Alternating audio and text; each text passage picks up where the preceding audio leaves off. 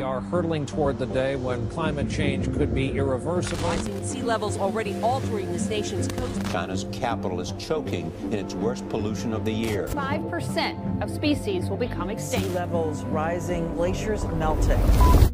If we do nothing, the picture of the world is one of absolute devastation. There's no convincing scientific evidence for man made climate change. We're spewing 162 million tons of human caused global warming pollution into it every single day, as if this is an open sewer.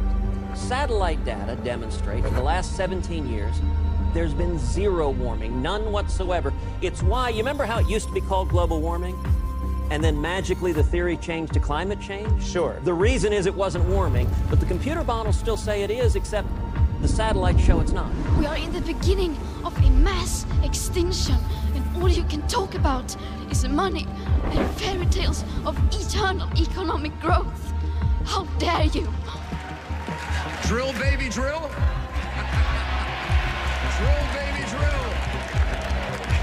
You can have the best capitalism and global capitalism in the world, but if people are dead, they're dead. It's over. Enough is enough.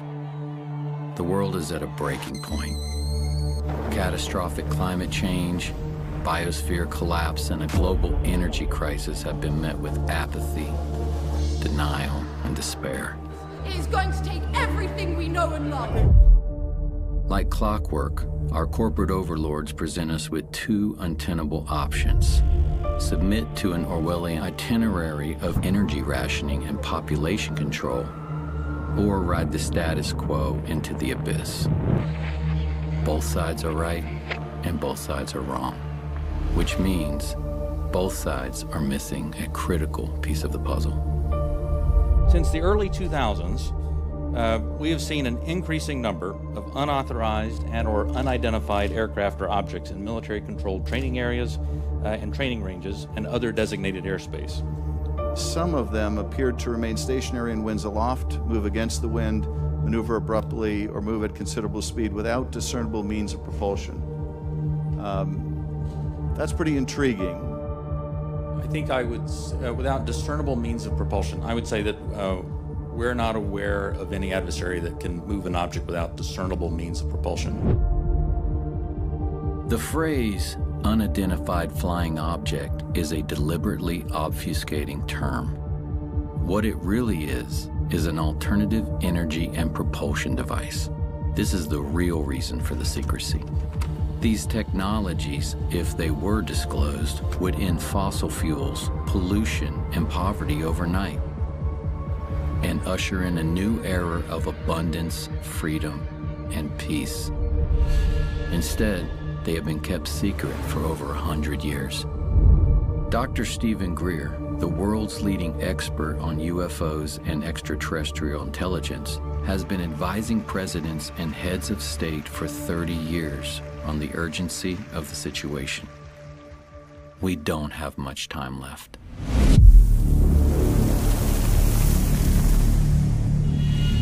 What is this lost century? This lost century is literally 100 years, more than that now, of technologies that have existed that have vanished. I mean, I was just recently in a meeting in Washington with the people who manage the black budget of the United States. They have no access to this material. Because between the late 1800s and now, the ingenious inventions and sciences that could have moved us off that extinction level path that we're on have all been ruthlessly suppressed, confiscated. And the only way that's going to change, it is not going to change in Washington. It is not going to change in a large corporation. Unlikely. It's going to change by us, the people doing it. So it's about us.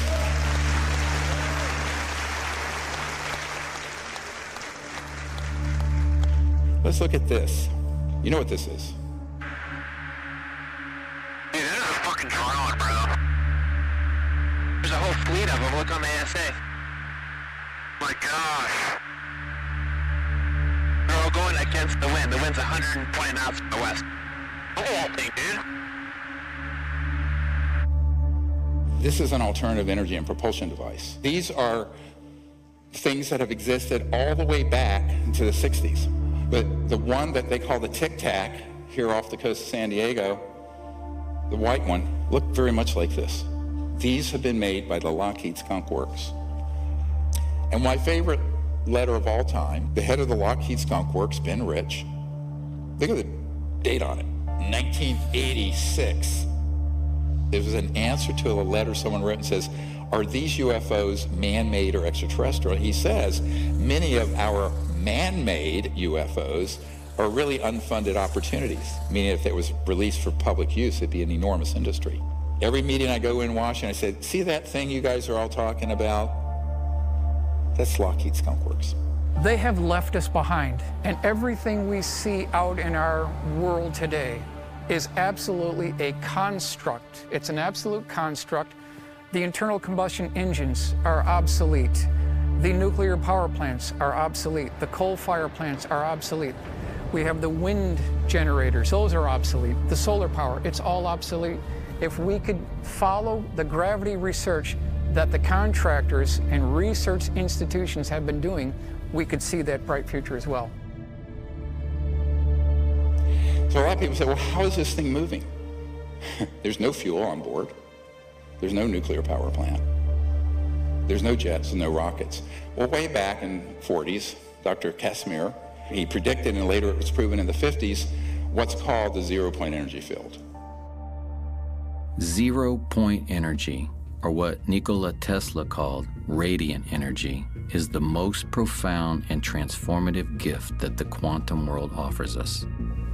The seemingly empty vacuum of space is actually a roiling sea of virtual particles fluctuating in and out of existence, and all those fluctuations require energy. If we could tap into this energy source, we would unlock a virtually unlimited reservoir of clean, free energy. Extraterrestrial spacecraft are known to harness zero point energy. The U.S. is under, or U.S. scientists is understanding of what this was. It was an energy device that used zero point energy. That's what they referred it to as zero point energy. And it was connected in such a manner that this device could power, I mean, from a very small flashlight or a very small watch up to a city. And power was determined by what the demand on it was. The implications of free energy go far beyond bringing monthly electric bills to zero or running a car without gasoline. Most of the cost of making anything, from growing food to building a skyscraper, is the energy pulling raw materials out of the ground, shipping, processing, shipping again, and so on. If the cost of energy goes to zero, the cost of agriculture and manufacturing becomes negligible. Other critical solutions, like water desalination to end drought or air purification, both of which are prohibitively expensive due to energy costs, would suddenly become viable in a free energy paradigm. A new world where humans live in perfect harmony with nature is possible within our lifetimes.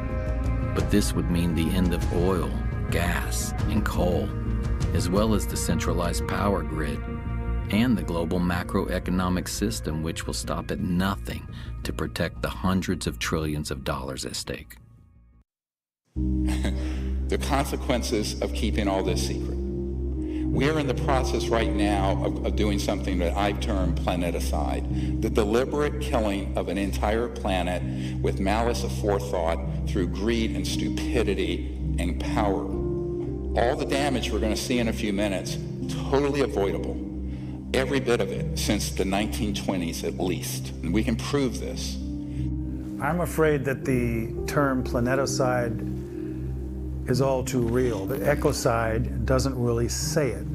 We are in the process of destroying the biosphere, destroying a habitable world for certainly the majority of the animals on the planet. I'm an older guy. I won't be around to see the worst of this, but I have not just trepidation, but terror at what's going to be faced by my son's generation and the generations that come after him.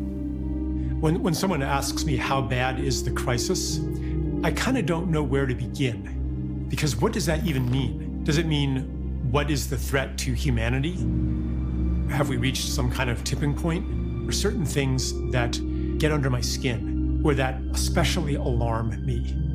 And one of them is the insect holocaust, for lack of a better word the precipitous decline in the number of insects, the number of species, the total biomass of insects. A lot of studies put that decline at 80%. When I was a child, when we went on a long drive, especially in the summer, like we'd have to have the windshield wipers on from time to time to clear off the bug splatter. Like you just don't have that anymore. Insects are like the foundation of the terrestrial food chain. Like you can't have a thriving ecosystem without thriving insects. That this is the sixth great extinction that's happening on the planet, and it's 100% man made, all of it. We have to all awaken because of what's happened. I think we're like a frog being boiled slowly. And suddenly we're going to wake up and find out, you know, it's too late. 150 species every day go extinct. Now, these aren't all animals, all kinds of species. The planet has been dying uh, at human hands for a long time. A naturalist I like, J.B. MacKinnon, he calls the world a 10% world as kind of a poetic expression of how much life has declined. So there's maybe 10% of the whales that there were 500 years ago, and the, the seabirds, and the wetlands, and the mangrove swamps, you know, and the fish biomass. We don't even know what we have lost, although in some level we feel it. This is this is part of the despair, part of the alienation and, and the anguish that sensitive people feel. You know, ice caps are melting. Uh, the oceans are certainly going to rise. They could rise as much as 20 feet if, if we have the big ones melt. This is all the way back in, in 1958. And there was a full page color ad in Life magazine. Everybody was reading Life magazine at the time. And it's by an oil company which was the predecessor of Exxon, which was called Humble. Each day, Humble supplies enough energy to melt 7 million tons of glacier. Here they're, they're bragging about it in 1958. So this company gets rebranded as Exxon in the 1970s. And in July 1977, they have a meeting inside Exxon headquarters where their chief scientist, James Black, is showing slides that are warning that burning fossil fuels are going to eventually endanger all of humanity. They know this in 1977. Present thinking holds that man has a time window of 15 years before the need for hard decisions regarding changes in energy strategies might become critical. Well, those 15 years were up in the early 1990s. Look at this. How long ago was it recognized that this was a disaster? Senior scientist Exxon, 45 years ago. And actually, it was known before then. This is insanity. This is a, a civilization gone mad. These companies have really not been held accountable. We've lived in a fossil fuel economy now for more than 100 years, and it's just been accelerating. The amount of wealth has been increasing. You have situations now where the head of ExxonMobil goes on to become the Secretary of State, Rex Tillerson under President Trump. And I'm an environmentalist. You, a lot of people don't understand that. I think I know more about the environment than most people. So there is really very little uh, accountability that exists. Many scientists, such as myself, have discovered that there are very concerted, well-oiled machines that provide false information, even to scientific and academic programs, it's called capture, where they try to rationalize away this problem and everything's fine. One company, Exxon alone, has funded more than 40 different groups to keep alive its campaign to deny the worst impacts of climate change. There was a guy named Martin Hoffert, and he's a professor of physics at New York University, a consultant to Exxon for their climate modeling during the 1980s. And he said this The advertisements that Exxon ran in major newspapers raising doubt about climate change were contradicted by the scientific work we had done and continued to do. Exxon was publicly promoting views that its own scientists knew were wrong and we knew that because we were the major group working on this. This was immoral and has greatly set back efforts to address climate change. Here's a case where the Canadian government ordered the scientists not to disclose the extent of it. So what you get in the media is, is a very sanitized version of this problem, which many people believe we may have already gone over the edge of the red line, how far we can go without a safe return to a sustainable civilization. China is the world's biggest greenhouse gas emitter by a huge margin. And if there's anything clear so far coming out of this year's Communist Party Congress, it's that coal is having a bit of a revival in the world's second largest economy. A senior energy official said China will give full play to coal as ballast in the country's energy mix. Why are we digging stuff up out of the ground when we haven't needed to burn coal since about the 1920, 1930 time period. Here's your solar panels. I had to replace my solar panels with more, and they all end up in a landfill and they're toxic. You know, we're working in a paradigm, whether it be fossil fuels or what is being proposed as new energy, that isn't going to work. I'm certainly not opposed to renewable technologies, but you know, they are dependent on weather. They're dependent on how much wind there is in an area, or they're able to harness of the, of the sun. And they cost an awful lot to bring up to speed. No environmentalist wants to see vast landscapes converted to biofuels or pit mines to mine silver and cobalt and lithium, wind turbines that kill birds and, and mar the landscape. This isn't what we signed up for. But this is what happens when we abdicate our relational care for every place and ecosystem and being on Earth and transfer that onto yet another quantitative cost benefit paradigm. And you have lithium fields. The amount of pollution from these lithium mining operations for lithium ion batteries in your Tesla, not to mention they catch fire periodically. Now, fair enough, I'm an emergency and trauma doctor gasoline cars catch fire more. I, I, can tell you some horror stories, which I'm sure you don't want to hear. And then we have this whole morass of how we're living, you know, on wires that we haven't needed. And so the entire system is set up to benefit a relatively small number of global oligarchs and financial interests that we absolutely have to say enough. They've had 150 years to do this. If we want to live among other life in the future and not in a concrete hellscape where we retreat into virtual worlds to compensate for the loss of what is alive, then we have to change our ways. And we have to start acting from our care for life most of you know that there are these nanoparticulate plastics that are in the entire food chain. They cause cancer, they disrupt hormones, they damage your brain. And why? Well, if we had quote unquote free energy systems from what we're going to describe as zero point energy field, you would never have to have anything wasted because you have 100% recycling because the cost of the energy would be zero. And then we have all these famines happening around the world because of the absolute social injustice of a system that is driven by greed and scarce resources. When, as Tesla pointed out, there's an infinite amount of energy to be tapped in what has now been quantified as the zero point energy field. How do you tap it? Now, mainstream science says it can't be tapped. It's there theoretically. Not true. And you're going to find out how untrue that is. International Panel on Climate Change, which issues annual reports about the dire state of things that we're facing. It says in their latest report that over the next decade alone, between 32 million and 130 some million people are going to be driven into poverty because of the changing climate in their countries. Three billion people, almost half the world's population, has no way to cook their food. They have no way to heat.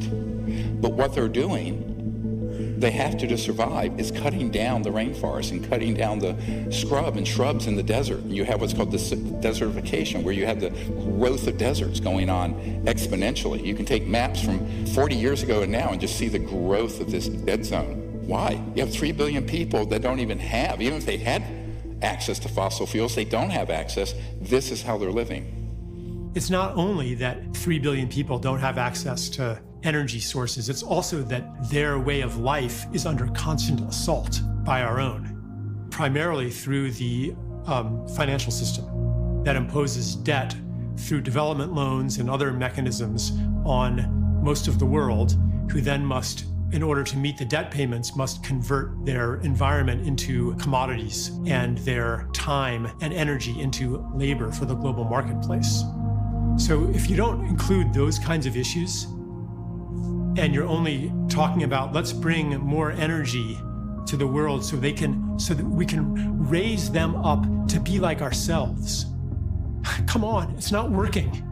Being like ourselves is not working. Look at the depression, look at the suicide, look at the addiction, look at the obesity, look at the despair. This is not a fit destination to evangelize throughout the world. We need some humility here. The dire emergency in East Africa, the drought there exacerbating the hunger crisis. As many as 20 million people could be starving by the middle of this year, half of them children. I firmly believe there can be no peace on this planet without justice.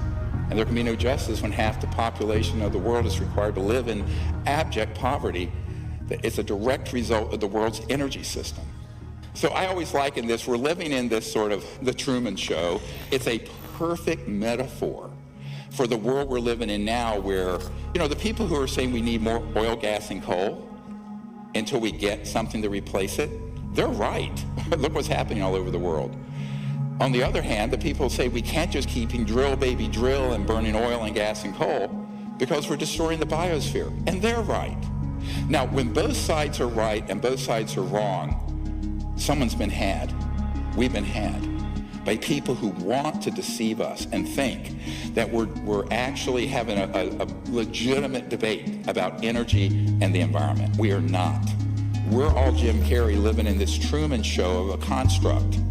So everyone's saying, well, you know, we don't have enough fossil fuels coming out and the density of energy from solar and wind isn't enough, so let's build more of these. Well, then you're stuck with one million years of toxic, life-killing waste from nuclear reactors. Greenhouse gas emissions would only decrease, according to a recent study, by 4% if we double the amount of energy that we're getting from nuclear power by 2050. Well, that's not a very good statistic to think about. Most people think when nuclear power plant is running that you're somehow getting energy from the atom directly. No. What you're doing is splitting the atom, as it were, creating a lot of heat that boils water, heats water, it turns a steam engine like a choo-choo train in 1849 coming out to the gold rush in California. That's all a nuclear power plant is, except you're stuck with a million years of waste. And this is the other problem. The distribution of the power from the point that you have the primary source by the time you generate it, transmit it through the inefficient transmission lines, and then the, you're, you're wiring in your device or your home, you've lost at least 66%. So 66% of the energy is completely wasted. So here's your energy grid. 12% is a new renewable. The rest is the old system. So if you plug in your electric car, 88% of the power is coming from gas and oil and coal. The entire world is running on an energy paradigm of scarcity, meaning that there's never more energy than we generate. And we lose that energy as we move it around and deploy it in different ways. And so energy is expensive. And energy is difficult to get to remote areas. And that energy is important because it's inputs in growing food and its inputs in manufacturing, and its inputs in the economy, and its inputs in all of these things that make people's lives better and that solve the problems that desperately need to be solved on the planet right now. Over unity is a very simple idea. It's that you're getting more energy out of something than you're putting into it. And according to mainstream science, that's impossible. What free energy devices suggest is that there is a limitless supply of usable energy that's always coming into reality, and that we're not living in a universe of fundamental scarcity. So, over unity is more than just a breakthrough that's going to live its life in a technical paper. It's not that. It's really the ability of humans to liberate themselves. Yes, there is a history, a long history of over unity systems. For example, Nikola Tesla had one. Basically, his big magnifying transformer that he had in, on Long Island was such an over unity system. He got the entire Earth itself in resonance. Everything going on is feeding energy into the Earth starts to feed energy into that wave that he created. So he gets a lot more energy in his resonant wave fed from outside, from the environment in the interior of the Earth. His idea was you could then put in a, a tap on it anywhere else on the world and extract it free. And of course, J.P. Morgan's take on that was that's foolish. You can't put a meter on it. So that uh, actually doomed much of Tesla's career at that point when Morgan found out that he, Tesla, was going to produce the energy freely. But I love this quote. If you want to find the secrets of the universe, think in terms of energy, frequency, and vibration. Now, the reason he said that is that when you use what's called a very high voltage system, you can tap in to what Professor Casimir called the zero point energy field. Some people call it the quantum vacuum. Other people, like Professor Dirac, modestly called it the Dirac Sea. And we just tested a device last month in uh, the Arizona desert, you'll see in a moment, that is based on that. Nobody is really trying to get, for example, over unity, more energy out of something than you put in, because it's assumed that that is impossible. Well, that might be impossible, but only if you don't really understand the fabric of reality itself. They just can't believe it, especially engineers, because I, uh, I know how we were taught, right? There is no vacuum energy. You're just a kook when you think so, right? Uh, if they took a little more physics, they would go, well, maybe. It's not a small thing. It's not a matter of, of finding proof for some technology, for some invention, and convincing everybody of it.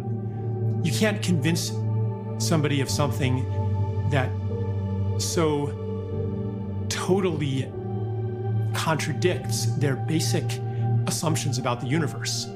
But what if there's a pool of energy available to us that we didn't even think was possible because we're operating on these 100 plus year old assumptions? We can't find this excess energy simply because no one's looking for it. So called empty space isn't really empty at all, it's actually full of energy.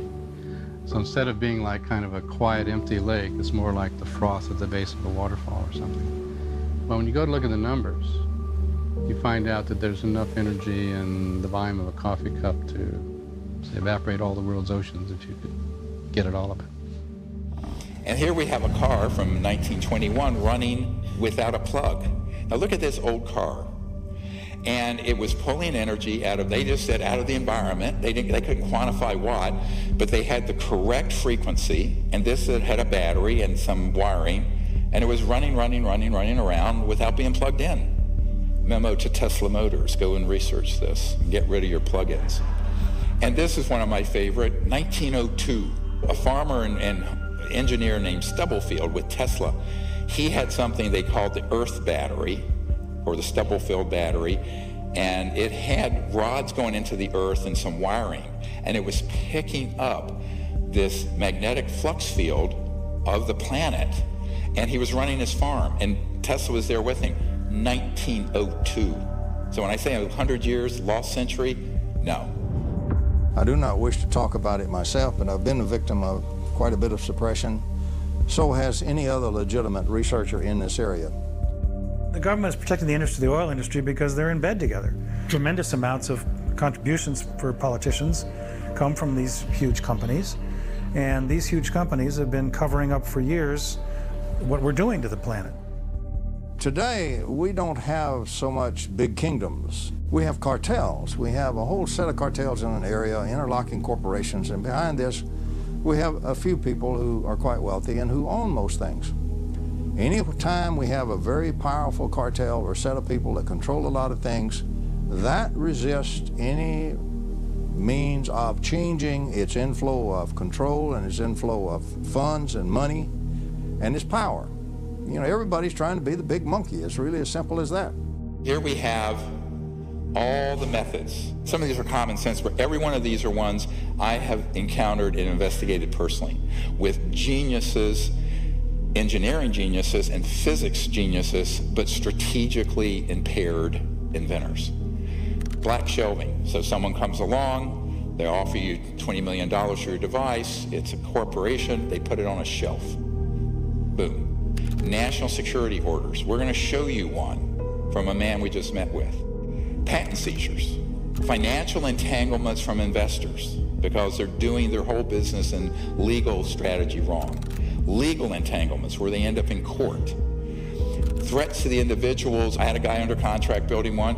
All you had to do is have some thugs come in and say, You, your wife, you're dead, you stop this. And he stopped. And then scientific fraud. The more powerful the agency, the more powerful the group, the more powerful the cartel, the more they will resort not only to legal means, but to extra legal means to suppress their competition. For example, the greatest espionage in the world is industrial espionage between one corporation and another right here in America. They're the ones that hire all the spies and the spooky equipment and everything like that by far more than the intel agents do. And it's not one cartel, so there are many, many groups in energy, and each of those has become very powerful in its own area, and each one does not wish to see simple little electrical taps pulling out enormous energy from the vacuum. They would much rather see you burning a lot more oil and so forth. So there's something nefarious afoot. Uh, it kind of makes sense from, right, I'm threatening oil monopoly and things like that. I, okay, so it, I said pretty early on, the problem is suppression wasn't really how do I make a free energy machine? It's how do I uh, not get suppressed? Because what, what, like, what's the point? If you, if you make it, you're just going to get clobbered. And then you have a really big one, media corruption. Where why doesn't everyone in the world know these things have existed? Because, as you'll see in a little bit, the media at a certain high level have operatives from the intelligence community who kill stories on demand. And then the worst, of course, wet works. It's not totally mafia type stuff. It's not like, you know, you just flat get shot. There's some of that. The typical threat's threat to the family, right? It's a typical mafia, right? It's not just watch The Godfather, see how they work, right?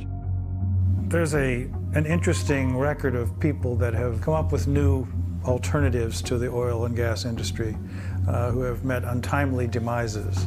I don't know if you'd say that's true in terms of Nikola Tesla specifically, but he was hit by a taxi cab back in the early 1930s and didn't die immediately, but then died alone in a hospital room a few years later.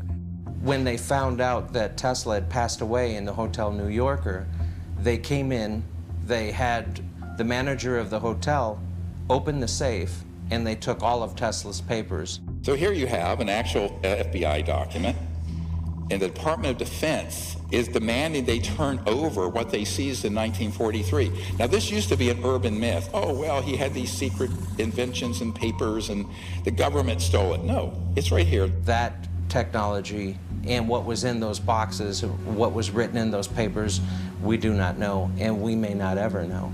So they go in, the FBI takes it. Here, the Department of Defense, years later, is saying, we want all those papers that you confiscated in 1943 upon Nikola Tesla's death. And then you have just flat out patent confiscation through national security orders.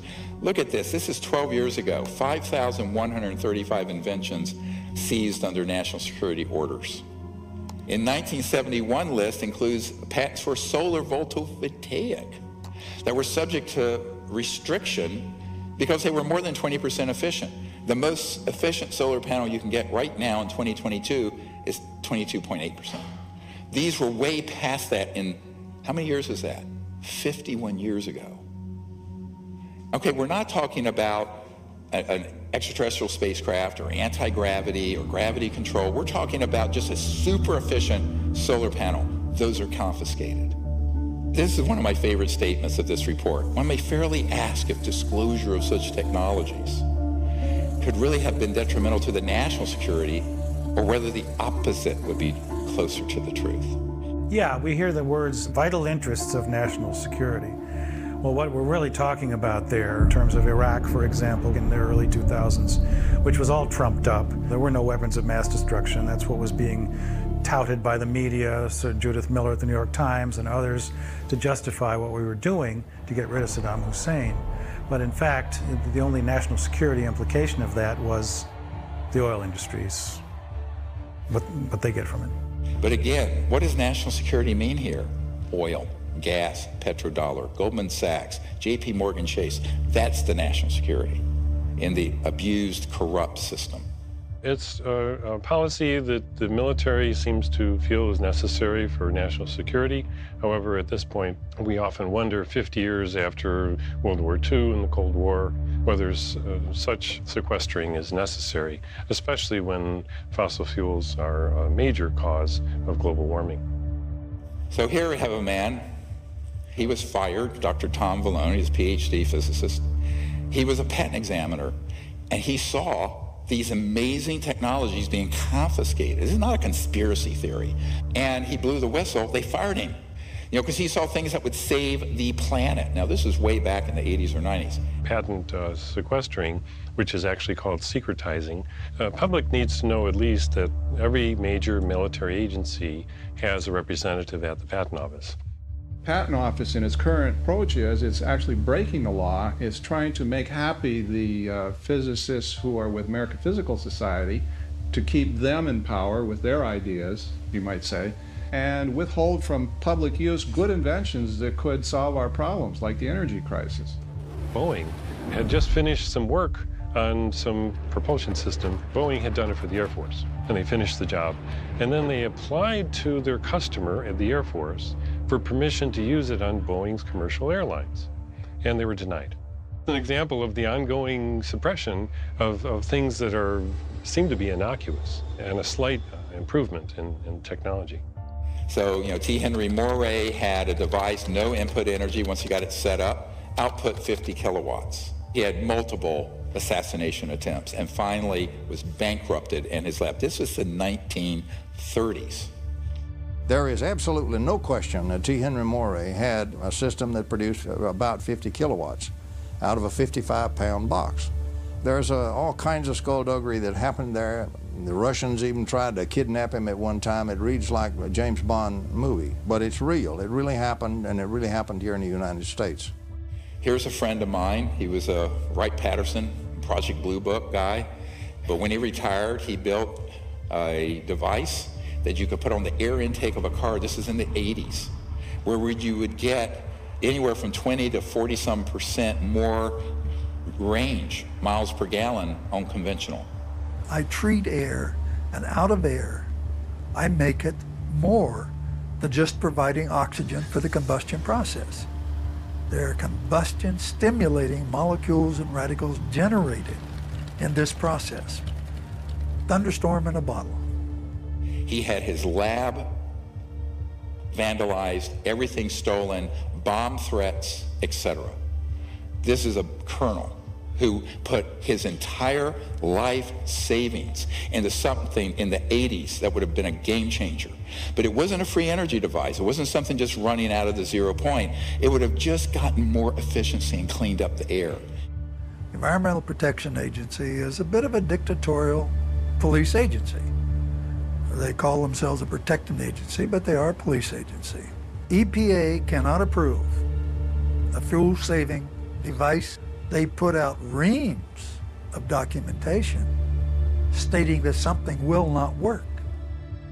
This gentleman actually took a device from a Russian immigrant and another and kind of packaged it. He didn't actually understand it that much. And you had 26, almost 27 watts going in, 7,460 watts going out and tested and verified by multiple labs. Gray started developing this idea eight years ago. For the past year and a half, he's been trying to get someone in the U.S. government interested. So far, he's had little luck. Gray says he's been getting the same reaction he got 30 years ago when he first proposed his theory. Get this guy out of here, he is crazy. But Gray says it's paranoia. The scientific community isn't willing to accept teachings opposite all previous learning. And the military aerospace industry is afraid to admit decades and billions of dollars worth of research have been wasted. Now, unfortunately, This disappeared because he actually took the ideas from some geniuses and was trying to make a lot of money. And so his became, I'm calling this crazy inventor syndrome. Uh, it's not very nice, but I mean, it's, it's kind of crazy. And here's why it's crazy. They think I have the, the, the best thing since sliced bread, and the world's going to be the path to my door. And they don't realize they're going to have corrupt interests from the national security state, corporations, and all kinds of other people stop them. So they think they're going to do a normal investment and normal venture capital and patent it or keep the secret sauce of how it works away from everyone. And in every single case for 100 plus years, they've taken that knowledge to their grave. Uh, you've seen The Paranoid Inventor, plenty of stories on those guys. It's my precious.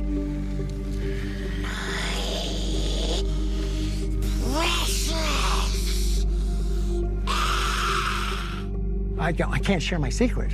Everybody will take it from me, right? That this paranoid, I, I have it. This is worth gazillions of dollars and everything else. And they're so naive, they know, have no idea. At first, they think they're the first, right? Have no idea the history of this and what happens to the others. So, having done that for 31 years now, I have been dealing with people with these devices since 1991. Almost all of them fall into some part of this syndrome, and it's a tragedy. You'll see the device. I'll have engineers come in and test it. They go, oh no, I'm going to keep it secret. Nobody can know but me. And I need to make a bunch of money. They want to be the next Rockefeller of energy. And the next thing you know, they're dead, or the device is confiscated, or it vanishes in a buyout. So this guy had the same problem. He had a device, they have it there still running. And but they think that no one can know this but them. They're buying into the paranoia. My answer is open source it, dump it on the internet, blockchain, or any way you can. You have no patent, no intellectual property. The whole world knows about it, and every scientific lab in, in the world can reproduce it. We're going to get to this strategy in a minute. That's how we go. We got to do that.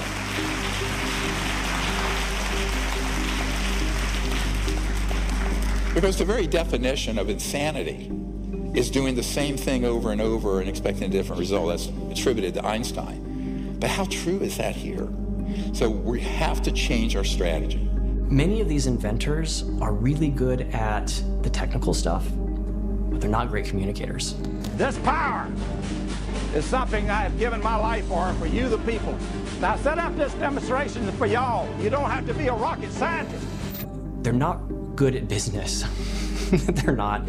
Like, God can make technical geniuses and he can make business savvy people, but rarely do the two come together in one person. This story is fascinating because he had a, a tiny, you know what 17 watts is? Like a, you know, a 20 watt light bulb. It was putting out 200 watts, 10 to 15 times more output than input. And this is in the 80s. This is 40 years ago.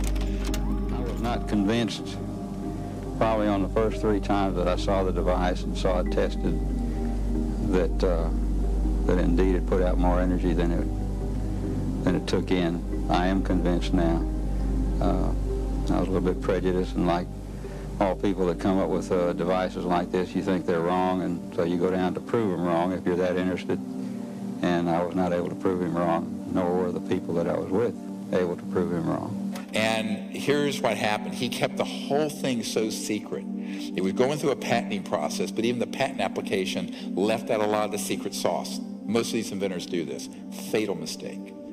And what happened is that it was all covered up, that he actually was taken to court. Patent office said, even though he had proof that it worked from multiple very esteemed scientists, patent examiners, that proved that the thing actually did as he said it did, and he got nowhere. He took this to his grave. Look at this video that you're going to see in a moment.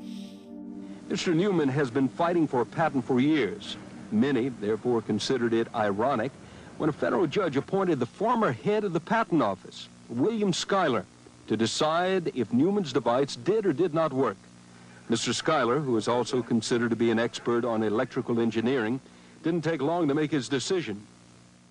In a report of the special master, Mr. Schuyler states, evidence before the court is overwhelming that Newman has built and tested a prototype of his invention in which the output energy exceeds the external input energy Therefore, there is no contradictory factual evidence. For the layman, that means the machine works. The expert then goes on to say, the Patent Office finding that such a machine is impossible is clearly erroneous. Mr. Schuyler also found that the Patent Office intentionally did not consider the formalities of Mr. Newman's application for a patent. Why wouldn't you go along, again, with a master that's former head of the, the uh, Patent Office, who has credentials that the uh, judge called outstanding? Why wouldn't you go along with the man that you recommended in granting a patent? You ask mean questions, don't you? I think you'd have to address that question to our present commissioner. Are you acting on his orders?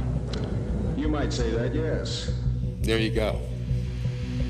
Uh, operability or utility is uh, a rejection that virtually none of the patent examiners, and there's almost 5,000 of us, uh, were allowed to use in any of our uh, applications.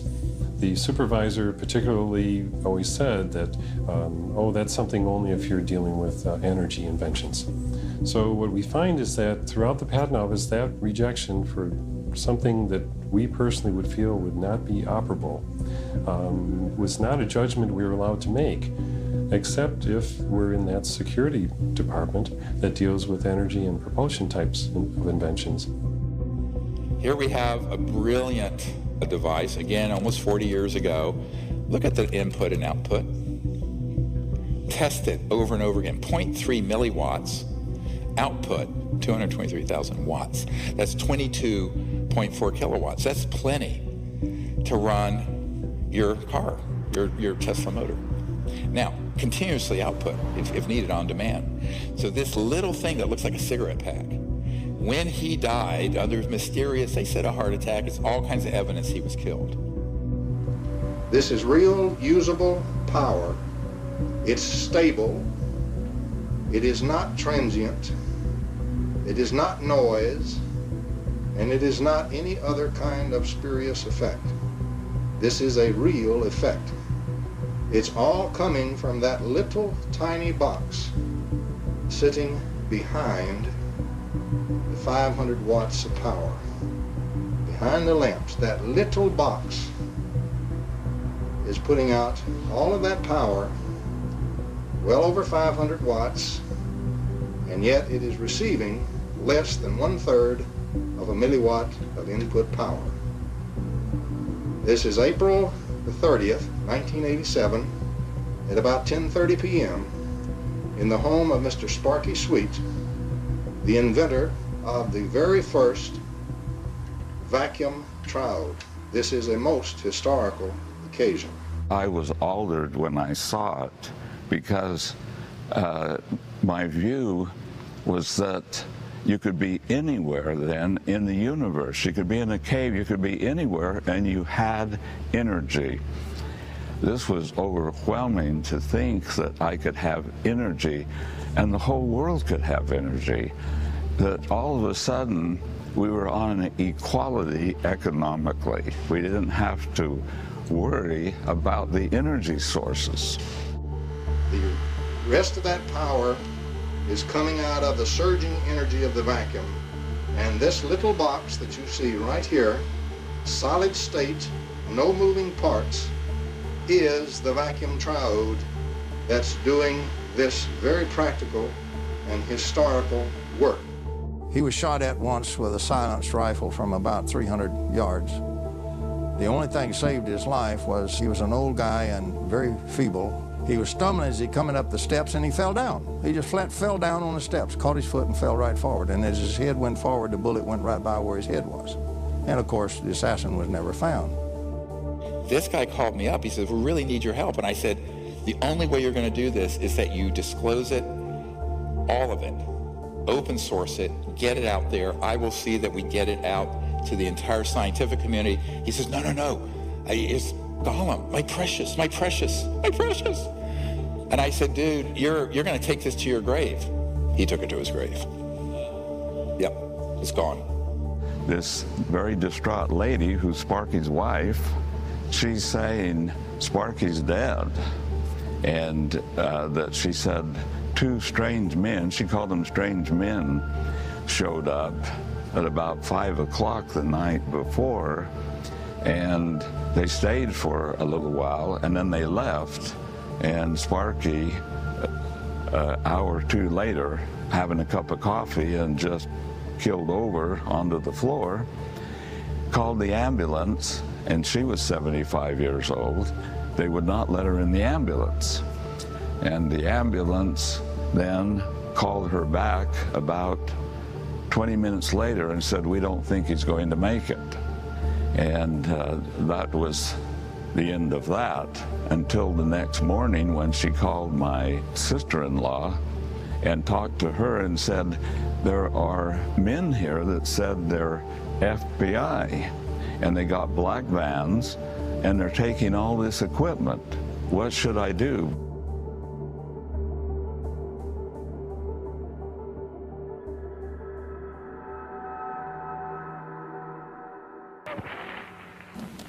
Good afternoon and welcome to this edition of Eyewitness Newsmakers. I'm your host, Doug Miller. On March the 23rd, chemists Stanley Pons and Martin Fleischmann rocked the world of science. They announced that they had achieved cold fusion in their laboratory at the University of Utah. The promise of a cheap and a plentiful energy supply grabbed the world's attention. It didn't put out a lot of power, but what was scary is that this is 1989. It made the, you know, cover of all the magazines. The way they took that avenue of discovery out of the scientific world is that there were people who were paid, who were corrupted through scientific fraud at MIT. Next slide. Dr. Eugene Mallove, dear friend of mine, PhD, Harvard and MIT, brilliant man. There was a man named Eugene Mallove who it's quite possible was eliminated by the powers that be in the fossil fuel industry. He died in 2004. He was murdered that year. But Mallove was a, an extremely important figure in the alternative energy world, especially in terms of what's called cold fusion. And he was at MIT in the, in the science office for education when he saw how they had changed the data on the reproducing the Pons-Fleischmann experiment and he blew the whistle. Uh, I inadvertently was looking through some piles of paper that had been given to me in a casual manner by all these hot fusion physicists as they were trying to do their calorimetric uh, repeat of the Pons-Fleischmann experiment. And to my utter astonishment, I can remember sitting at my desk in my study and actually seeing these two sheets of paper, one dated July 10th, 1989, and another dated July 13th, three days apart. The difference between July 10th and 13th was dramatic. And I was stunned. I couldn't believe what I was seeing. It looked like monkey business to me at the time, and it has turned out to be exactly that. It was a lower echelon person in the Plasma Fusion Center at MIT, one of the 16 authors of a scientific paper done under Department of Energy contract that had altered data. And that data is scientific fraud, as far as I'm concerned, and many other people are concerned. And it was, you know, it was hell on wheels. Finally, get someone who brings him a, a zero point device, solid state, no moving parts. And I said, Gene, we need to get this out to the public very quickly. Oh no, they want to keep it secret. I begged him and I begged him and I begged him and I begged him. He was beaten to death when he was over at his parents' home and was killed, murdered, made to look like some thugs. They were, yeah, they were thugs, but they were. It wasn't a random murder, and the device vanished with him. Good friend of mine, dear friend. What we really had was a threat to the scientific establishment the threat of it even being implied as real and having monies, shall we say, being diverted from their favored programs. And uh, that was a threat, no question. It was an actual threat of that happening.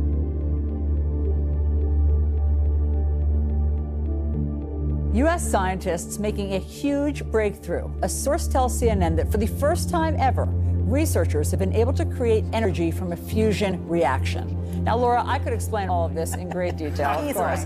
But basically, it's a giant step towards a clean energy future without dependence on fossil fuels. This is the first time, by all accounts, they've gotten more heat out than they put in. Not so fast. This supposed breakthrough, announced just as we were finishing this film, is a total distraction. The net gain 0.1 kilowatt, is enough to boil a kettle of water and not much else. But what is truly baffling is that they are not counting the actual input required to power the lasers to get the machine going. When you count the energy it took to generate the fusion reaction, it's actually a 1200 times net loss. Furthermore, fusion reactions can generate heat in excess of 3 million degrees, which would ignite the oxygen in the surrounding air if a breach ever occurred. Everything about this is, at best, wrong at worst, fraudulent. So, why is this fake solution being pushed by every media outlet on the planet when we have had real solutions hidden in classified programs for 100 years? Different people have different devices. Of the ones that have promise, there's certain themes that keep re-emerging. The first theme is torsion physics. Torsion physics is a fancy way of saying something that spins like this and something that spins like this. Think of it as like an hourglass shape. I think that it has to do with it representing the way energy moves in the universe. At the biggest levels, like the galaxy, it's a spiral. A tornado on Earth is this vortex motion. Our DNA is a stranded spiral. A second theme is plasma. A lightning bolt is plasma, right? The spark gap in a car is plasma. So plasma is the fourth state of matter. Solid water is ice. Add more energy, it melts and becomes water. Add more energy, it becomes steam. And then if you were to add even more energy, say through running an electric current through that steam or through any gas, you end up with plasma.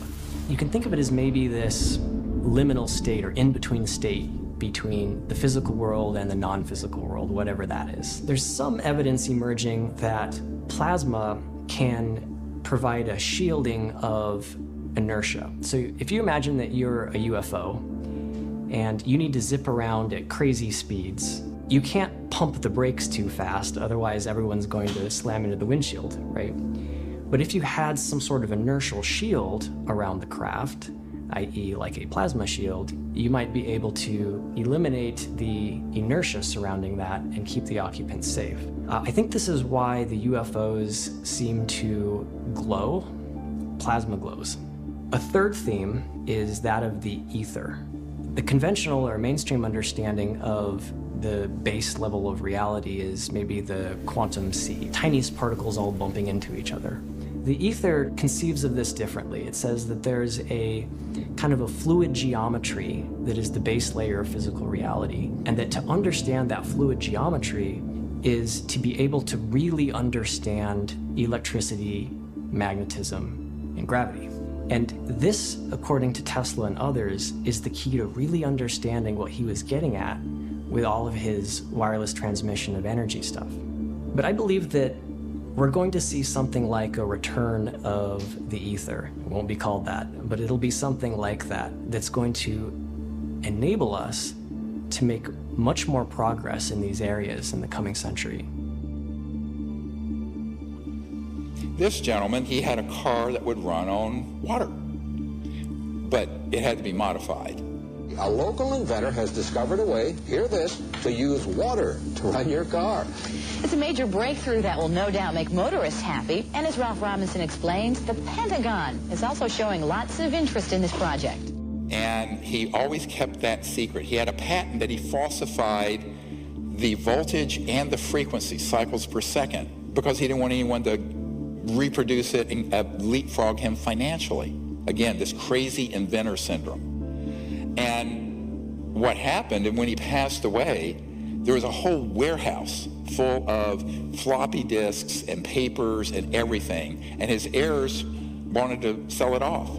What people didn't realize is that this car was the least important thing Stan Meyer had. He had a toroid, and the toroid was a donut-shaped electromagnetic device that had had a national security order slapped on it. I was going to get it and openly disclose it. But though the scientific establishment may have ignored the likes of Meyer, the powerful military-industrial complex certainly hasn't. Over the past 10 years, Meyer says he's been quietly approached by many influential organizations who would never admit publicly to their involvement with him. This was a disaster.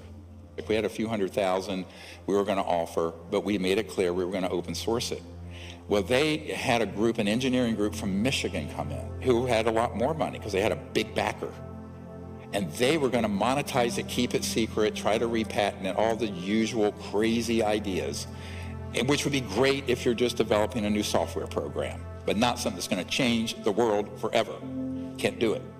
They were working on a couple years. I get this hysterical call. He says, Dr. Greer, we need your help. We need your help. He says, they're on the run for their lives. They've been sabotaged. They've had death threats. And my advice was, forget about Gollum and be in my ring and my precious ring. In this case, it was literally a precious ring. Just put it out there. I will help spread it. We will build these up independently, have labs tested, and you cannot put that toothpaste back in the tube. You squeeze it hard enough. He says, yes, that's, you're right. It's probably the only way. But they think they can find a safe country to go to. I said, you're going to have to go to another star system, my friend. I literally said that. No way that's going to happen. So sure enough, I find out a few months later, I'm meeting with a high-tech guy in Orange County. That entire team was assassinated. Was one, the one survived. Uh, it was just crying like a baby in this man's office. Technology shows that we can release energy up to beyond 2.5 million barrels of oil per gallon of water and do it safely. So it gives us the ability to not only uh, sustain and maintain the economies of the world, but also give us the abilities to uh, handle the environmental pollution problems at the same time. This sort of encapsulates, you know, five or ten of the suppression techniques, all the way from murder to crazy inventor syndrome, falsifying your patent, trying to make money first instead of proving the science first, etc. And of course, he took this to his grave. He was poisoned and killed at a cracker barrel. An ignominious death, if ever I heard one. And Stan Meyer's water engine points us to a deeper mystery concerning energy in our universe microscopic ball lightning. The late physicist Ken Shoulders developed a technology called charge clusters, which are likened to ball lightning. When they are discharged, they actually tap into the zero point energy field. This is where most of the power in Stan Meyer's device was coming from. Like Stan, Ken Shoulders faced terrible suppression. And so I, I, met with this CEO, and he says, yes, they approved a $5 million grant from DOE so we could develop this further because one of the effects it had that they were really pursuing was putting low-level, initially, radioactive waste in these charge clusters. And it would cause isotopes that were non-radioactive to be created. What does this mean? clean up all the radioactive waste. However, the phenomenon, the reason it was doing it was that it was actually activating, as it were, this baseline energy field that's at the fabric of space and time. And that's what they didn't want out. So in the rarest of events, that grant was published and these vicious people who want to keep all this stuff secret went into the, the, the Secretary of, of uh, Energy's office and said, pull that grant. And they pulled it. Another technology to harness the power of ball lightning is being developed by a team of engineers in Florida. They have successfully tested several prototypes that allow any internal combustion engine to run mostly on water.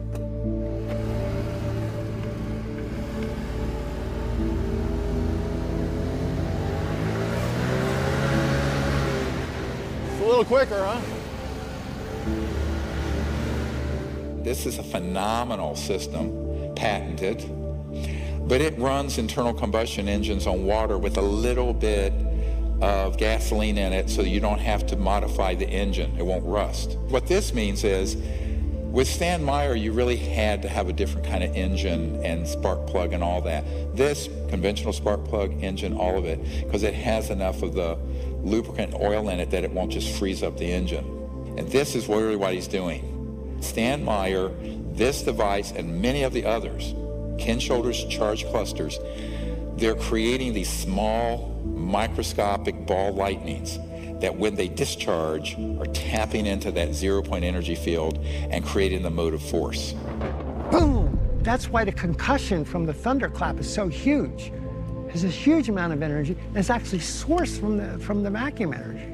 All the dots connected. This is what's happening, right? So how, we need to make the thunderclap engine. Many times breakthroughs are made because the inventor or the scientist was inspired by looking at nature. The same systems and the same mechanisms that exist in nature that you can see can also exist in the devices that you build. So by trying to mimic that, you can tap into the intelligence that nature has already shown you when it comes to being efficient with the energy transmission mechanisms. Another current technology was recently investigated by Dr. Greer and his engineering team at an undisclosed location in the Arizona desert. One, two, three, four, five, six magnesium alloy specially configured plates. This thing's the size of a nice sized shoebox. The circuitry you see on the right is a misdirect because the guy has crazy inventor syndrome and thinks he can keep it secret and make a trillion dollars. You don't interfere with the big, powerful people. You don't put them out of business. They're still in business. They still have those 50-year leases on the lines and, the, and all the power transformers. You'd be able to get one of my power plants, just replace a coal-fired plant, you know. But it wouldn't be big news or anything because I'm just selling the electricity to them, okay? And then they're going to say, wow, we're making more money at this plant than we are at the others. So they're going to put them around, you see? They're not going to let me in. They're going to fight me tooth and nail. But I'm, but I'm going to be very sneaky about it. This thing, for three years, had been sitting in this near a chicken coop in his backyard out in the desert, putting out three kilowatts of power continuously, and we cranked it up to five kilowatts. No input power. And it's running off the magnetic flux of the space around it that he can tune to any place on the earth so it's correct, and boom. This thing, solid state, no moving parts. We just saw this. But he's a textbook case of making every wrong decision. Tried to patent it.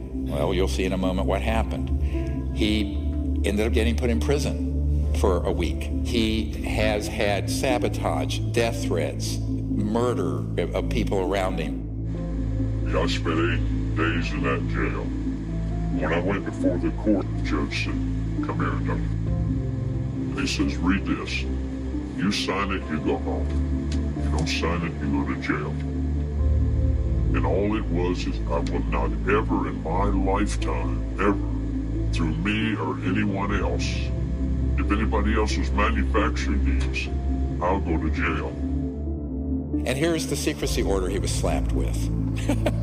but look at the date 1984. it's almost 40 years ago. So, you know, doing the same thing, patent office, people think this is a myth. No, here's a secrecy order. See, so I don't want to go through that again. Scared my family and everybody. Uh, so now what we're going to do, we're going to be very quiet. I'm going to build my one megawatt. It'll take two and a half years to build it. Because it's very complicated. I gotta, I gotta acclimate it to the earth. Technologies like this and countless others will never see the light of day without a radically new strategy. Dr. Greer is preparing to launch a multi centered, state of the art research and development lab that will develop zero point energy technology, live streaming 24 7 for security and transparency. All research results, data, and plans would be released to the world open source freely available to the public and the scientific community. This will require broad public support to make this a reality. With this strategy, zero point energy is achievable, but it is only half of what has been suppressed. Uh, now we get into the really cool stuff. Look at the dates 1919, Pakowski Frost experiment, where they actually had high frequency systems where things levitated, defying gravity. And then T. Townsend Brown, and he had very high voltage systems, electrogravitic, they call it, where high voltage would cause this lift effect and would actually create, if you will, uh, a bubble, an electromagnetic field that would allow an object to move at enormous speeds and free of the forces of gravity, what's called gravity control. An Office of Naval Research report on T. Townsend Brown's electrogravity device includes a transcript of a conversation between Major General V.E. Bertrandias and Lieutenant General H.A. Craig. Bertrandias remarks, It sounds terribly screwy, but Friday I went down to a place called the Townsend Brown Foundation, and believe it or not, I saw a model of a flying saucer. Townsend Brown was an independent experimenter, and he uh, actually worked on, as, as you can see, very large uh, replications of saucers that he believed were vital for a different type of propulsion. The big question is, can I prove this? This I consider to be a very serious Rosetta Stone. This is Young Men magazine.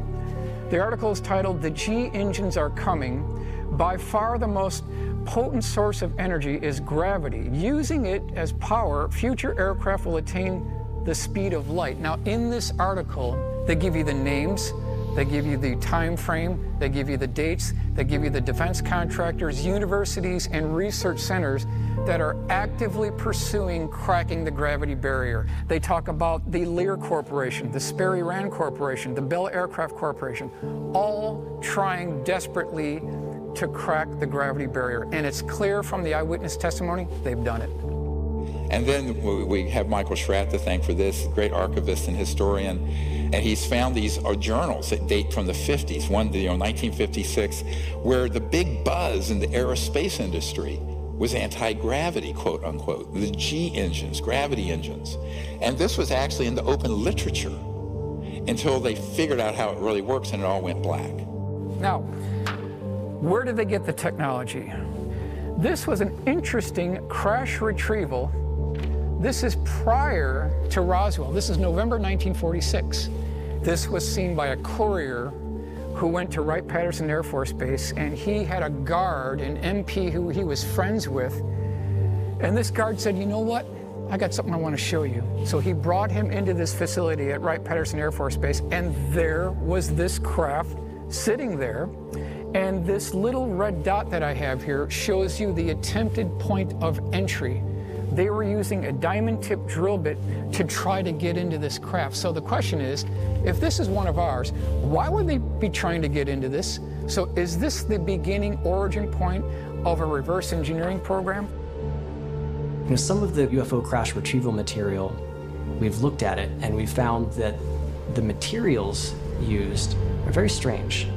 When extraterrestrial material is recovered through military crash retrievals and its metallic structure is examined under a microscope, the metal is so pure that we could not replicate it, even in a vacuum in space. This is because extraterrestrial crafts are not manufactured on a Ford assembly line the way humans would manufacture something. Everything in the material universe has a frequency and a corresponding sound vibration that creates and sustains its being. Extraterrestrials manufacture objects by first creating a resonant frequency. For instance, the frequency of a flying saucer. This is a sort of vibrational blueprint that interacts with the substrate of the physical universe, pulling into existence from other dimensions atoms and molecules that then organize and condense into the structure of the object being created.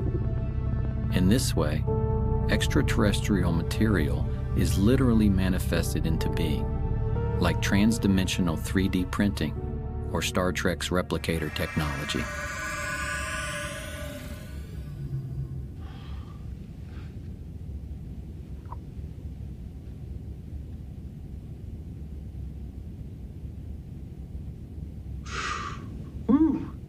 Moving on to 1963. This is a Marine. He was called from Cherry Point, North Carolina to an undisclosed location, and his job was to guard something there. And when he got to this facility, they opened up these doors, and he saw propped up on scaffolding this 40 foot diameter dish shaped craft that looked like a fat hamburger. It was about 15 feet tall. He noticed that there was a white circle painted on the floor, and his job was to shoot to kill anyone who would try to breach that circle. They were trying three ways to get into this craft. Number one was a diamond tip drill bit. So we've got two cases of this now. Number two was an acetylene torch. That failed. And then the final attempt was bringing in two 18-wheeler tractor-trailer lowboy trucks that had these very high voltage generating devices, and they were using a laser to get into this craft. In a previously unreleased interview with aerospace designer Brad Sorensen, Sorensen describes a secret air show that took place at Norton Air Force Base on November 12th of 1988 a classified military exhibit in which so called alien reproduction vehicles were unveiled. The craft were hovering off the floor with no landing gear underneath and nothing supporting it from above. When asked, where did they get these concepts from? Sorensen states, they said they copied it. By the way, these went all through the solar system. The components Mercury era, 1959 to 1960s, early 60s. So these were operational. When did we master gravity control where these were being functionally built by classified projects here on Earth, not extraterrestrial? October 1954. So here we are, riding on the surface of the roads in cars belching out garbage and pollution. When I say a lost century, it really is. They were already working on these programs as early as 1948. During the Clinton administration, they were spending $100 million a day on black budget programs. The big question is, has this been integrated into the aerospace industry? And if we look at what the witnesses are reporting, they're reporting similar things across time, across dates, locations. Now, this is March 23rd, 1966. This is Temple, Oklahoma primary eyewitness name is Eddie Laxon. He was an electrical engineer. He was working at Sheppard Air Force Base, so he's commuting to work. It's about 5.06 in the morning, and I want to stress that this is not my case. This is an actual United States Air Force Project Blue Book case, and it can be verified through Project Blue Book. So he's going to work in the morning, and all of a sudden, something is blocking the road in front of him and he notices something that looks all the world like a tipped over bowling pin. It's about 75 feet across. On the starboard side of the craft that you see here, there was an air stair cutout door and a man. I want to stress this was a man, this is not an alien. He was wearing two piece green military fatigues. He had a baseball cap with the bill turned up, and he was shining a flashlight near the bottom of the steps. Above this air stair door, there was an interesting stinger or spire that tapered back and swept back to the end of the vehicle. And at the end of this spire, there was about an eight inch diameter sphere. And that's interesting because I keep getting reports from the eyewitnesses of spheres and balls and protrusions and prongs sticking out of these UFOs. And if you look at what the eyewitnesses are describing to us, and you look and examine high voltage electrical equipment, it's a match.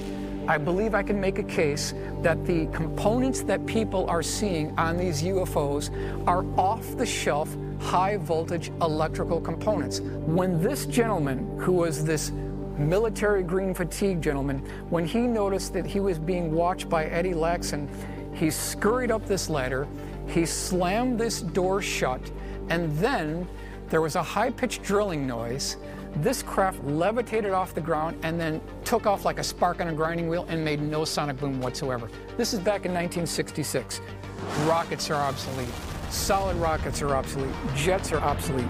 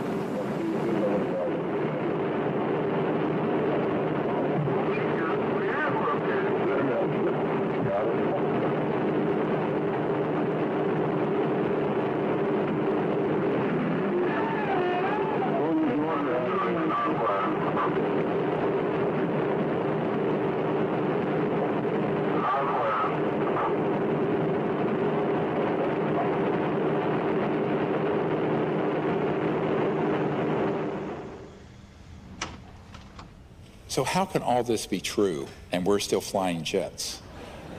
This Elon Musk tweeted this out.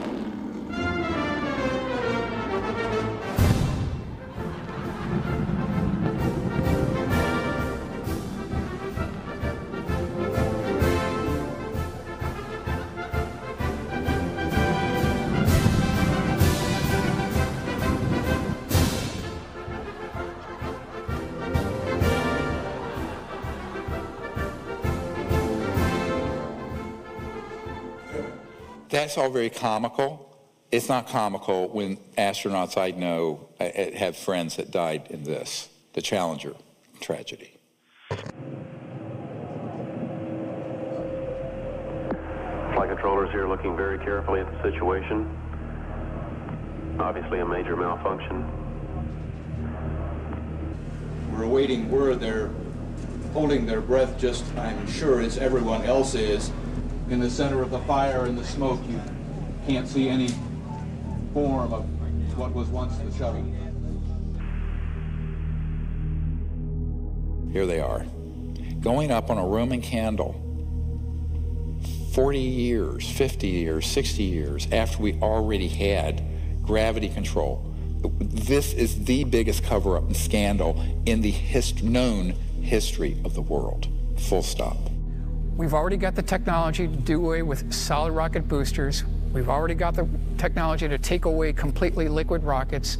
Why wasn't the Challenger crew briefed on this technology if we already had the breakthrough in 1954?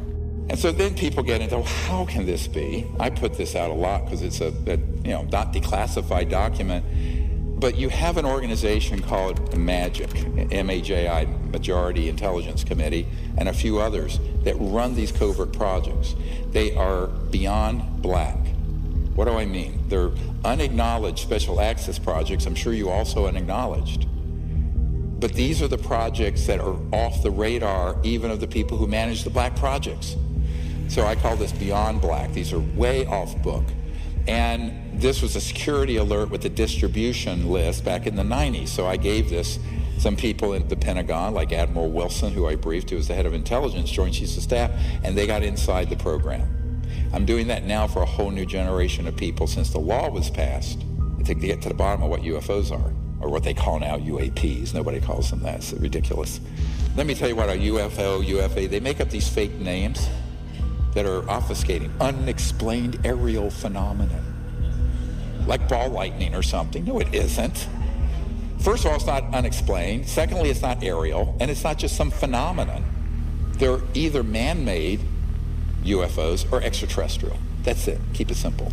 The hardest thing for the senators and the White House people and the general public, and particularly the media, to understand, or scientists, is that if this is true, how could it be that it has been kept secret from the people? They're very good at counterintelligence. So it's structured, as Eisenhower warned us, beware the military-industrial complex. In the councils of government, we must guard against the acquisition of unwarranted influence, whether sought or unsought, by the military-industrial complex. A very strong warning of what he saw coming because he'd been living with it for eight years. The CIA was only created in 1947 and the Pentagon and its generals were, you know, gaining much more power and as the nuclear age progressed. And Eisenhower saw it. The combination of military power with industry. If you think about what the industrial part is of the military-industrial complex, the industrial is basically the fossil fuel giants and, and the chemical companies and the now increasingly the pharmaceutical companies that are running rampant and increasing their wealth by astronomical proportions.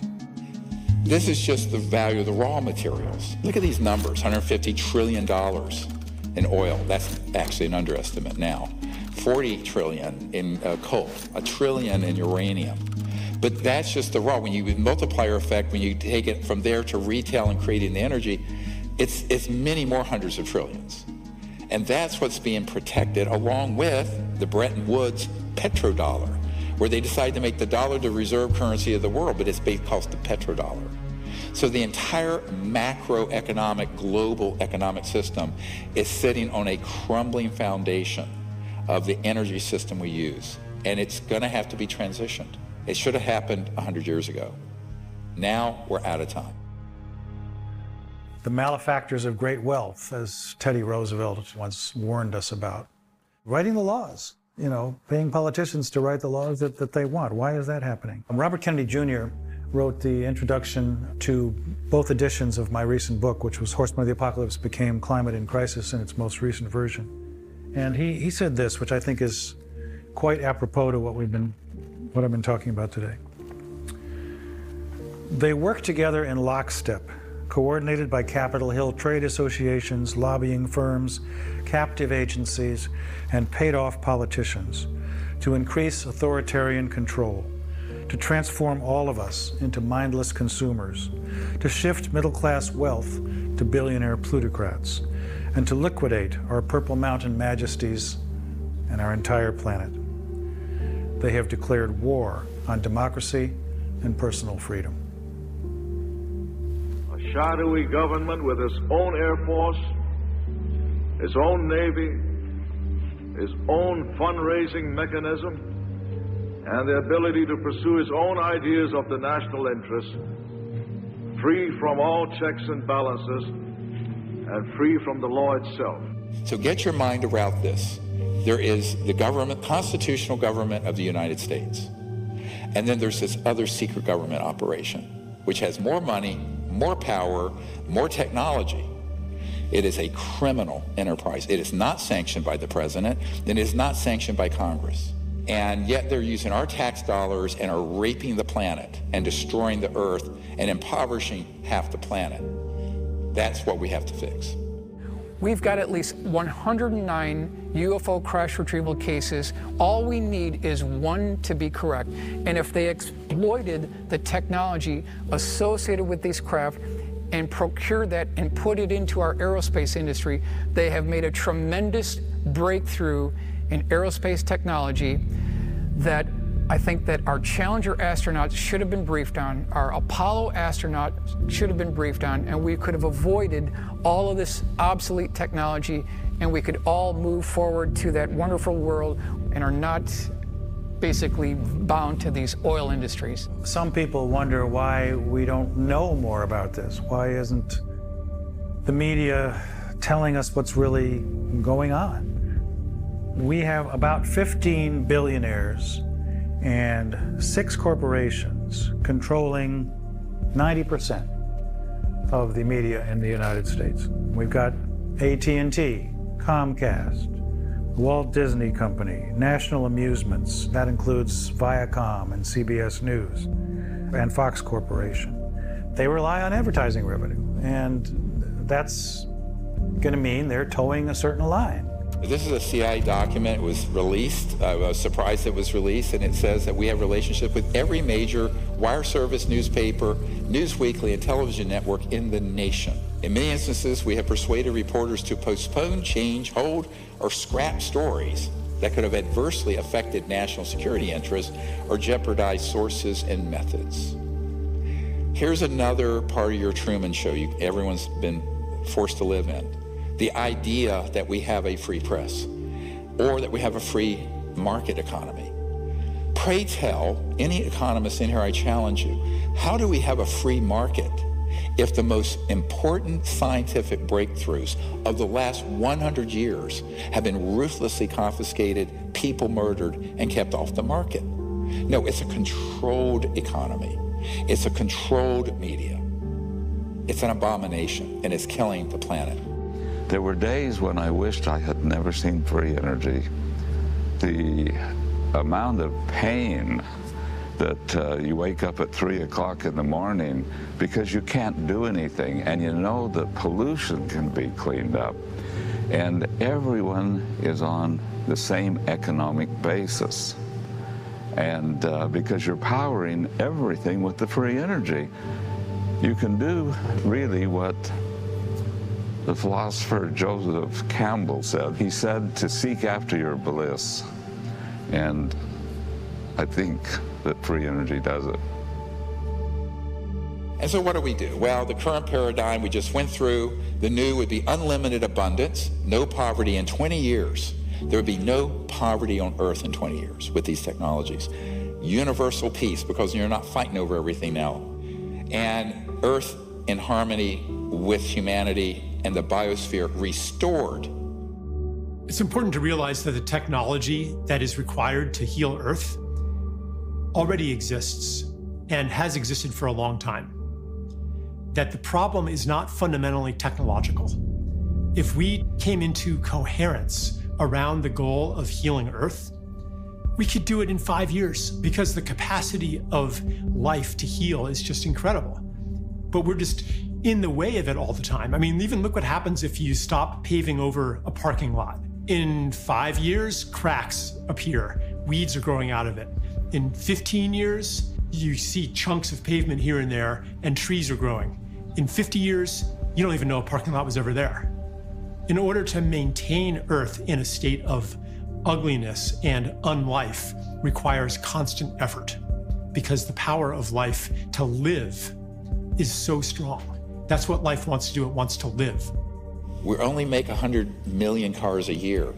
If we converted like that, which is not going to happen, all manufacturing of automobiles to these zero point energy generators, it would take, do the math, 15 years. We barely have 15 years left. The date I've been given, 2035 to 2040, and we're done. The scale of the transition is almost unthinkable. There are an estimated 14 million kilometers of paved roads across the Earth. There are many millions more of power lines comprising the so called smart grid. A real smart grid would be no grid at all. We need a compassionate transition. Instead of displacing millions of workers who support today's energy infrastructure, we must enlist them in the radical transformation of our world that lies before us. You've all heard of the Hopi prophecy, probably. There are two lines on the Hopi prophecy. Right now, our entire planet is on the line, the upper line that terminates. We're an extinction level event trajectory. That's the path we're on. There's another line in the Hopi prophecies, and that's one that we have to jump onto that goes on and on forever. That's our choice. We, the people, have to choose it. It is not going to be done for you like a Ouija board in Washington or at Wall Street. We're going to have to unite and do this ourselves. You can imagine a civilization that has figured out the over unity question as being one in which the centralization of power, and therefore the centralization of the inputs necessary for the growth of civilization, becomes more decentralized. So rather than these power stations that are clustered around big cities, you can have energy generation mechanisms in every home. And this is why it's a new world, because it's the power to the people. And what it means, it's literally not just electric power, and energy, but actual political power. And in the industrial era, from the 1800s to now, it's gotten more and more concentrated. This is going to return the power to every village and every person. Even the deserts shall bloom, as it says in the Bible. And in Africa and around the world, they're going to leapfrog past where we are with all this electricity and wiring and power lines and power plants like they did telephones. They went straight to cell. But this is a bigger leap where all over the world, all these impoverished areas, every little village and community will have its own energy generator for pulling water out of the humidity of the air. We have the technology to do that now. Why isn't it used? Because it uses a lot of electricity, which is polluting and expensive. It'll be a global village all interconnected, but also all self-sufficient. Complete local self-sufficiency with no pollution. That's the world we could have had beginning in the 20s. A hundred years later, may I suggest we accept it. It's time. We are a hundred years behind where we should be right now. Why are we still pounding metal nails into boards to build houses? Why are we still loading up shipping containers on tankers and taking two months to get here? This is all a construct. And why I call this a time snap? a time snap is when things have gone so far off track. The only way to fix it is for the people to unite come up with a totally different strategy where in a decade to two decades we make up for 100 years. It can happen. And, you know, if nothing else, humans do want to survive. But this is now a survival question for every man, woman, and child on the earth. So that's why we have to do this. We have to remember also that the capacity for life to heal is almost unlimited. And we see this already with people who are restoring ecosystems and regenerating farmland. You know, even in a few years, miracles happen. You know, springs that had been dead for generations come back to life. Species that hadn't been seen in the area seemingly magically reappear. And so we can't forget that. We can't succumb to a despair that is founded in our distrust of the power of life itself, which again is part of the origin of our current condition. Visualize your house off the grid, clean energy, no wiring. Why? Because every device, whether it's this size device or your refrigerator, will have a small solid state quantum vacuum zero point energy device in it running it. So there's no electromagnetic fields running through your house because you don't need wiring. Think what that'll do to construction costs and the simplicity of it. And here we are in the Sahara Desert, and you want to grow food? You create a, a biosphere dome. It's run on free, clean energy, as you, we, we've demonstrated. You're growing oranges. You can grow crops. You can have different zones in it for different temperature and humidity control. So anywhere on the planet that you need to have foods, it could be done under controlled circumstances, digitally automated, but with no cost for the energy and the water, virtually none. What that means is the food scarcity and starvation we're facing, that goes away very quickly in, in, a 20-year period. Here's your, your typical street in your neighborhood, anywhere in the world. And as we bring these technologies out, the grid comes down. We don't need it anymore. When there's a snowstorm or hurricane or whatever, you don't lose power because you're not dependent on a grid that's going to be torn down by ice and snow and wind.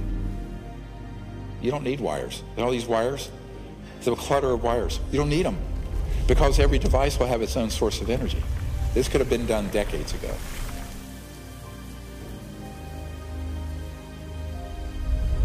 As we bring these out, all these freeways will be replaced. All the lines and power lines will go away. We can float above the surface. And in every city in the world, we're going to see this transformation, every village in the world. And then we have these cities, you know, eventually where you're just floating, there, are guided pathways, you know, the ground is pristine, and then we're going out into space. So everyone remember where our destiny is. Our destiny is not just Earth, it's the whole cosmos. How is that going to be possible? The only way we're allowed to go outside our solar system is if we become a peaceful civilization. Otherwise, it's lockdown. You know, we are considered a planet that is da dangerous and armed. Each one of us is very invested in the world as it is. We've built careers, relationships, and goals based on a world that doesn't include ETs and anti-gravity and free energy and healing devices and all this cool abundant stuff. And so we need to understand and, and really know if we are ready for that investment to be disrupted. So one of the most powerful things that any of us can do is to look in our own hearts, imagine the world that could be, and ask ourselves, are we ready for that? If the answer is yes, then hold that readiness in your heart in all the excitement that it's due. If the answer is no, if there are some lingering doubts or fears or concerns, then go into that. Follow that. That's an important thread that you can follow back to something inside of you that needs attention. It's that obstacle that may be keeping us from living in this new world. At Rendlesham Forest, in the Air Force Base in 1980.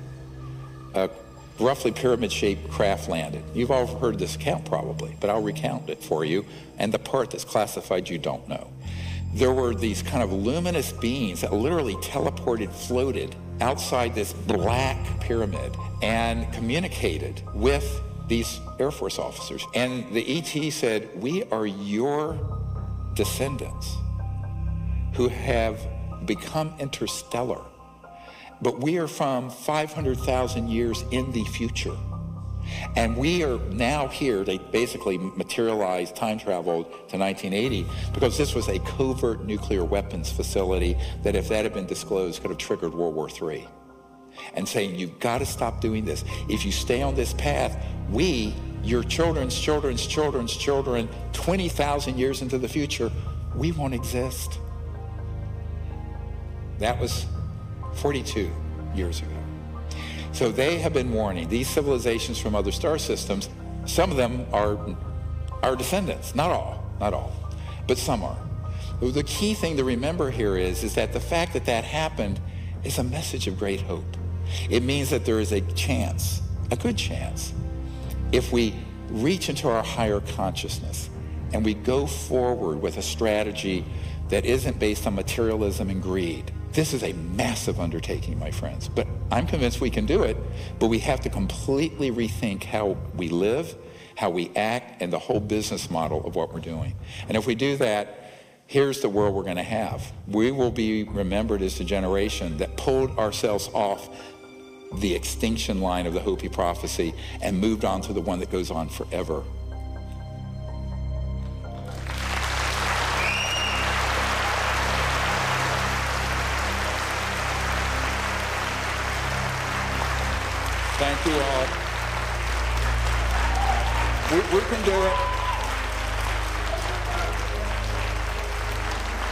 Nelson Mandela once said, Our human compassion binds us the one to the other, not in pity or patronizingly, but as human beings who have learned how to turn our common suffering into hope for the future. We have every reason to have hope the solutions already exist. If we come together as one human family, we can reclaim our lost century.